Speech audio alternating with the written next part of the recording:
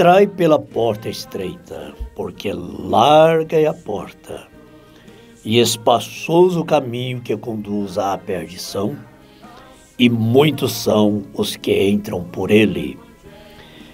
E porque estreita é a porta, e apertado é o caminho que leva à vida, e poucos há que a encontrem. Vamos louvar ao Senhor nesse momento.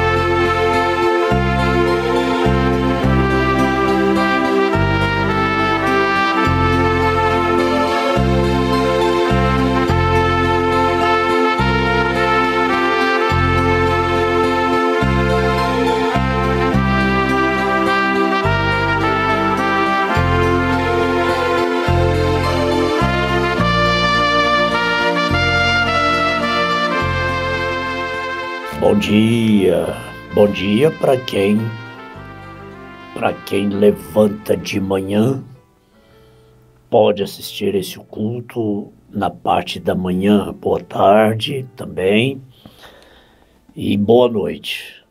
Muitos assistem à noite. Muito bom. O importante é ouvir, participar, não importa a hora. Não importa o momento, não importa o lugar, o importante é ouvir. Bom dia, irmã Márcia Maria. Irmã Márcia Maria diz assim: as tempestades da vida não nos afastam desse caminho. Ah, é bom demais a gente ouvir os irmãos falando, né? Como diz o irmão Francisco Galdino, eu não estou falando sozinho. É, os irmãos fazem conosco esse culto, conosco esse culto doméstico. Juntos, juntos nós sentamos à mesa, conversamos, dialogamos, tomamos um café juntos. E essa palavra aqui abençoa outras pessoas. Essa observação da irmã Márcia aqui ajuda outras pessoas. As tempestades da vida não nos afastam desse caminho. Certamente, com toda certeza, a irmã sabe do que está falando. Quantas tempestades, né? Que a irmã já enfrentou, que a irmã enfrenta, que hoje se tornou o nosso dia a dia. Tempestades é o nosso dia a dia. Mas nada nos afasta desse caminho. É, quem e o que não nos, afastam, não nos afastam desse caminho. Muitos que já se afastaram, estão se afastando é por causa de alguém, por causa de quê? Por causa disso, por causa daquilo, por causa de alguém. Mas ninguém, alguém e nem o que nos faz afastar desse caminho. Aí Paulo vem e pergunta: quem nos separará do amor de Deus? Quem? Quem nos separará? O que o que? É, necessidade, nudez, escassez, perseguição, tribulação. O que? Quem? Nada, nada, nada nos fará separar do amor de Deus que está em Cristo Jesus. Aí está você, aí estou eu. Quanto mais os ventos sopram, mais firmados estamos na rocha que é Cristo. É, assim diz a irmã Márcia Maria. E é verdade. Quanto mais os ventos sopram forte, mais firmados vamos ficando na rocha que é Cristo. Essa rocha não é o pastor tal, pastor fulano de tal. Não. Nenhum pastor é rocha. Eu não sou rocha. Eu também estou firmado nesta rocha. Eu não sou a rocha, mas eu estou firmado na rocha que é a revelação. A revelação. A palavra Pedro significa pedra.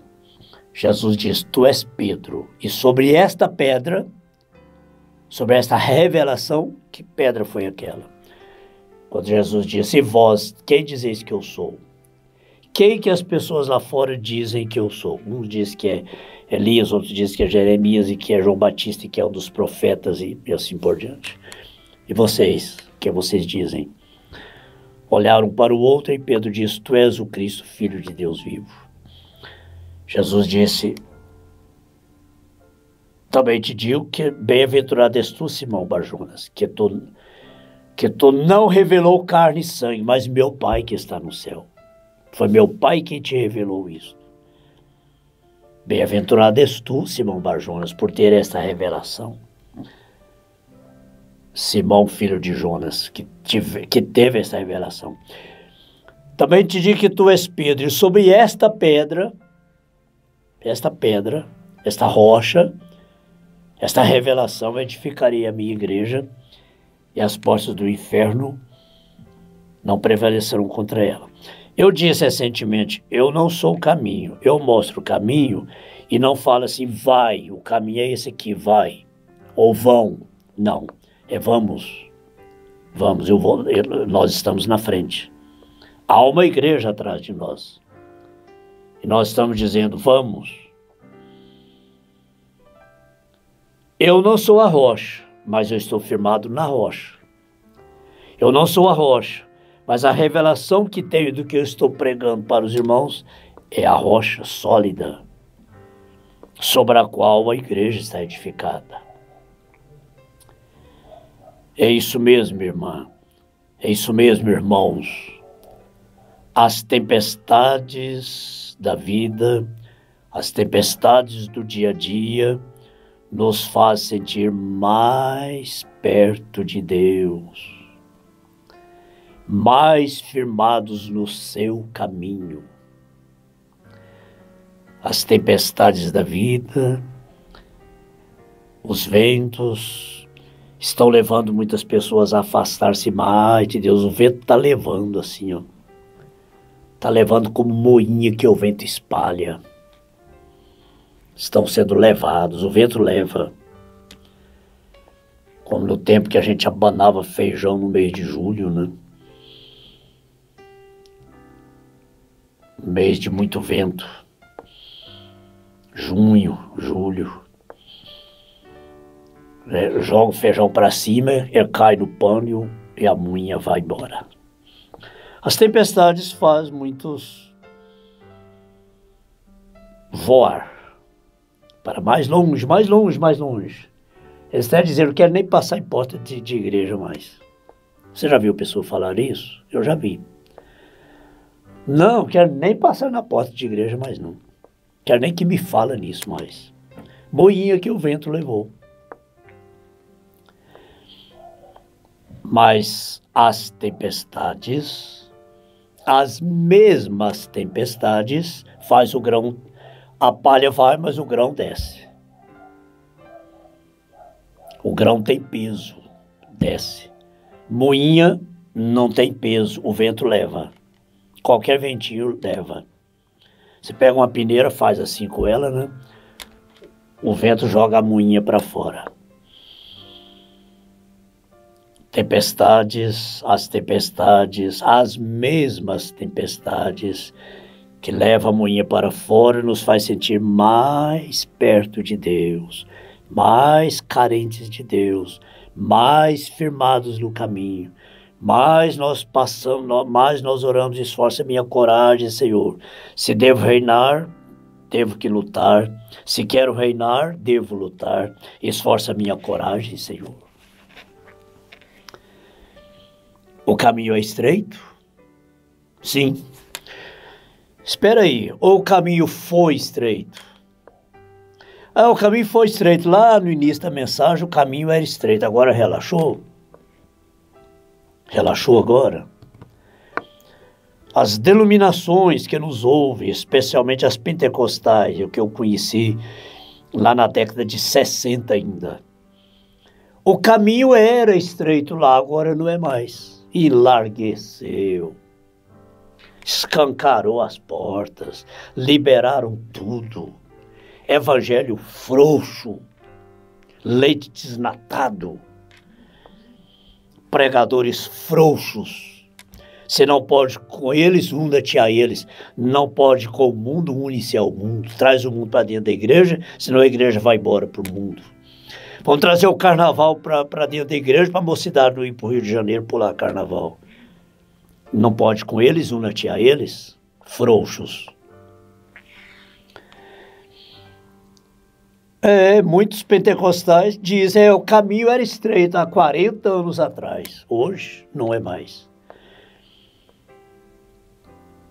E na mensagem do evangelho original, o caminho largueceu?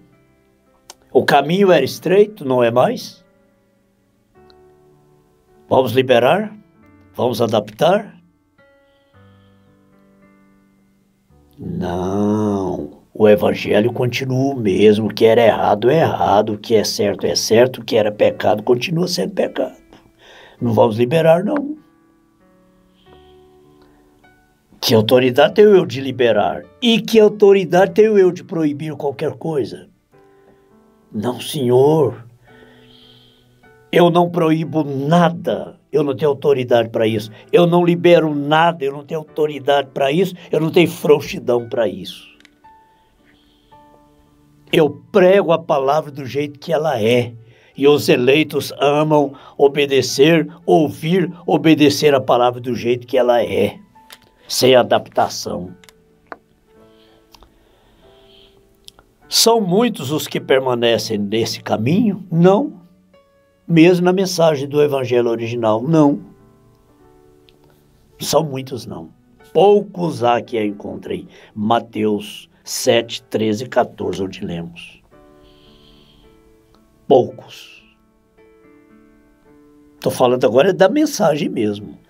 São muitos que não muitos entram, mas que permanecem. Muitos, muitos, muitos, muitos entraram por este caminho. Mas permaneceram? Não. Entre muitos que entraram quando eu entrei, eu permaneci. Muitos se foram. E muitos ainda irão. O vento ainda vai levar muitos. Que não tem consistência, não tem peso. É só casca, não tem vida, não tem grão ali dentro. A palha do arroz é assim, né?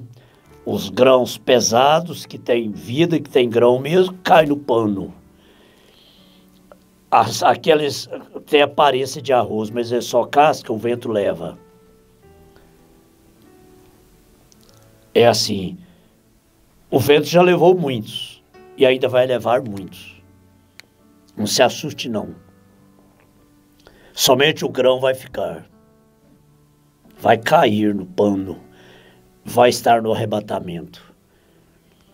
Mas esses, esses, essas, esses grãos, né? essas sementes, sem vida lá dentro, sem o grão lá dentro, é sua palha, não resiste não, o vento leva.